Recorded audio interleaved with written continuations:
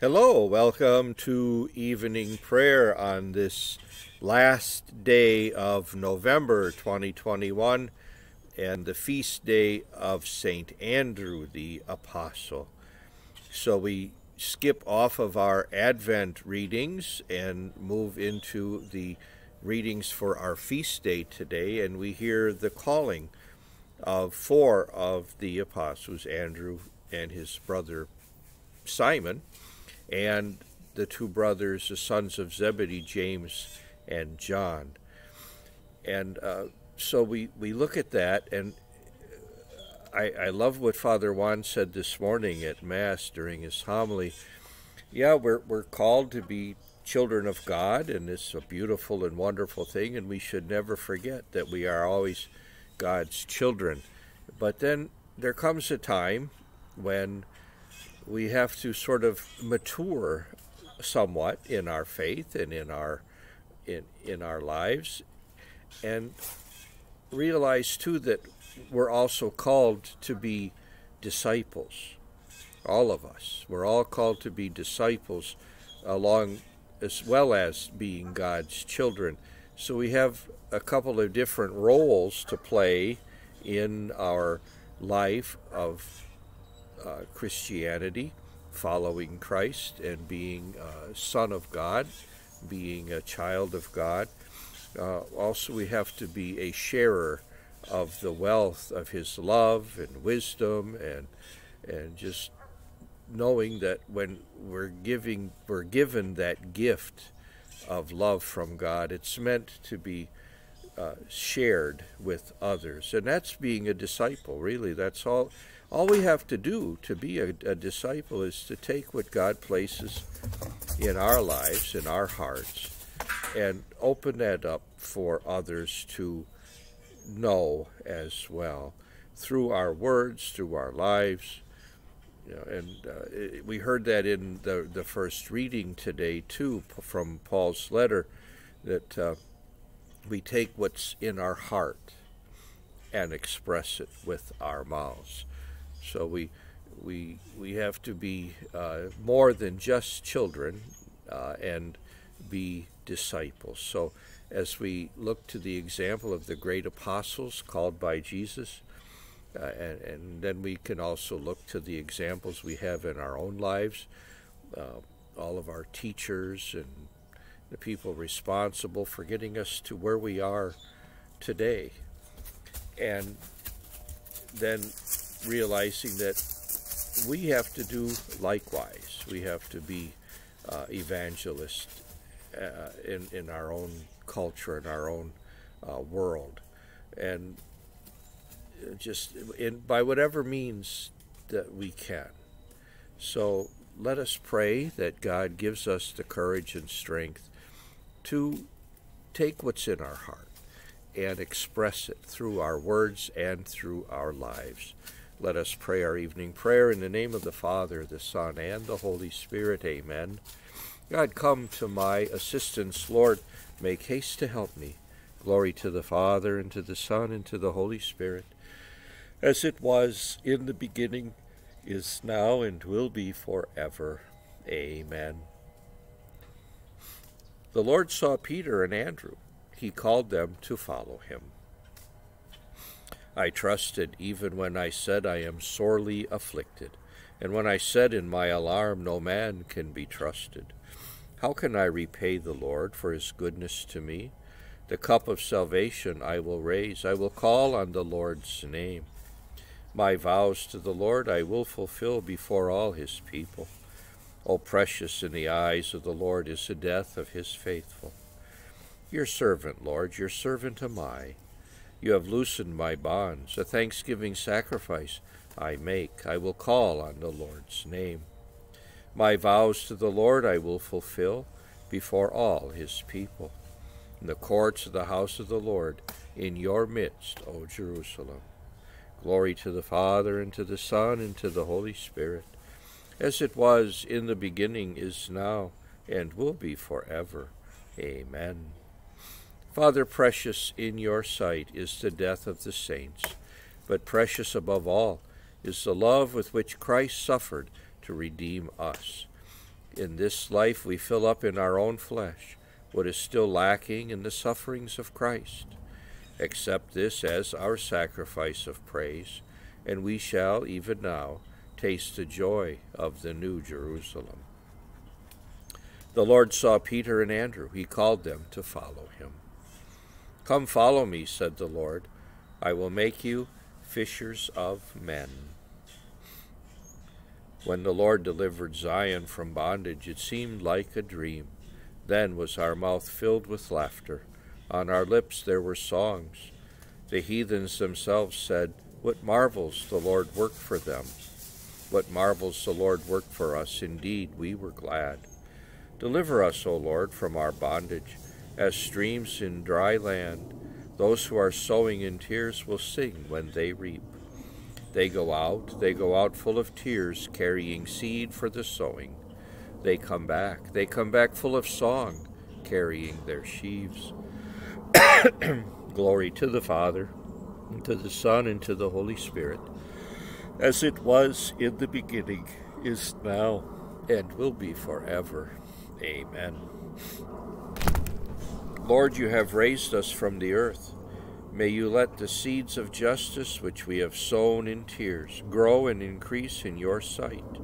May we, may we reap in joy the harvest we hope for patiently. Come follow me, said the Lord. I will make you fishers of men. They left their nets to follow Christ, their Lord and Redeemer. Praise be the God and Father of our Lord Jesus Christ who has bestowed on us in Christ every spiritual blessing in the heavens. God chose us in him before the world began to be holy and blameless in his sight. He predestined us to be his adopted sons through Jesus Christ. Such was his will and pleasure that all might praise the glorious favor he has bestowed on us in his beloved.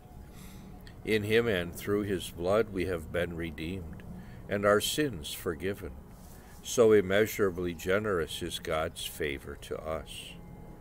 God has given us the wisdom to understand fully the mystery, the plan he was pleased to decree in Christ, a plan to be carried out in Christ in the fullness of time, to bring all things into one in him, in the heavens and on earth.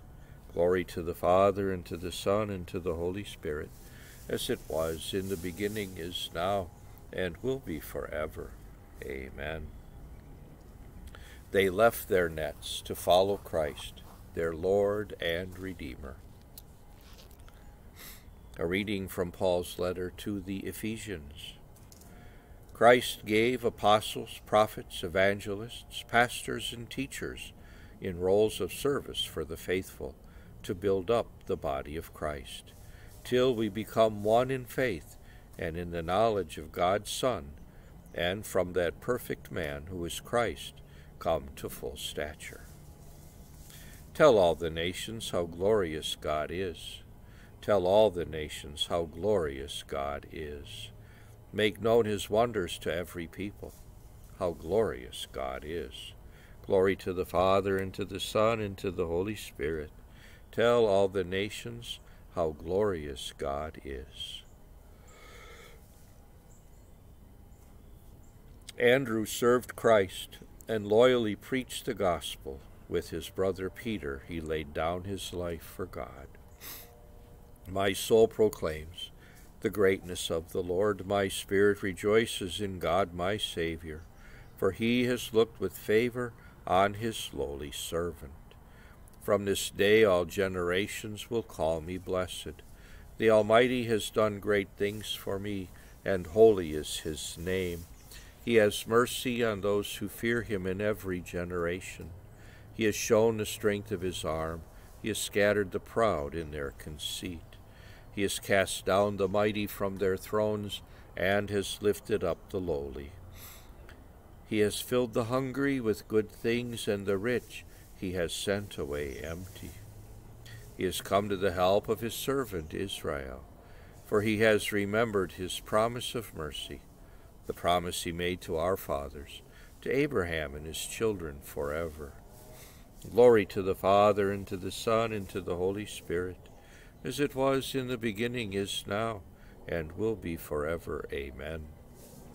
Andrew served Christ and loyally preached the gospel. With his brother Peter, he laid down his life for God. My brothers and sisters, we build on the foundation of the apostles. Let us pray to our Almighty Father for his holy people and say, Be mindful of your church, O Lord. Father, you wanted your Son to be seen first by the apostles after the resurrection from the dead. We ask you to make us his witnesses to the farthest corners of the world. Be mindful of your church, O Lord. You sent your Son to preach your good news to the poor. Help us to preach this gospel to every creature. Be mindful of your church, O Lord. You sent your Son to sow the seed of unending life. Grant that we who work at sowing the seed may share the joy of the harvest. Be mindful of your church, O Lord.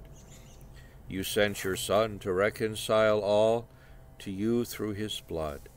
Help us all to work toward achieving this reconciliation. Be mindful of your church, O Lord.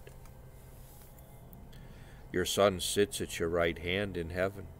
Let the dead enter your kingdom of joy. Be mindful of your church, O Lord. Gathering our prayer and praises into one, let us offer the prayer that Christ himself taught us. Our Father who art in heaven, hallowed be thy name. Thy kingdom come, thy will be done, on earth as it is in heaven. Give us this day our daily bread, and forgive us our trespasses as we forgive those who trespass against us. Lead us not into temptation, but deliver us from evil. Amen.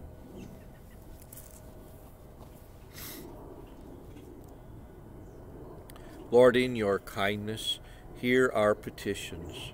You called Andrew, the apostle, to preach the gospel and guide your church in faith. May he always be our friend in your presence to help us with his prayers. We ask this through our Lord Jesus Christ, your Son, who lives and reigns with you and the Holy Spirit, God forever and ever. Amen. May the Lord bless us, protect us from all evil, and bring us to everlasting life. Amen. And may Almighty God bless you all, God who is Father, Son, and Holy Spirit. Amen. Have a great night, everyone. Uh, hopefully, you'll be attending the mission this evening, and uh, uh, it's the second night of three.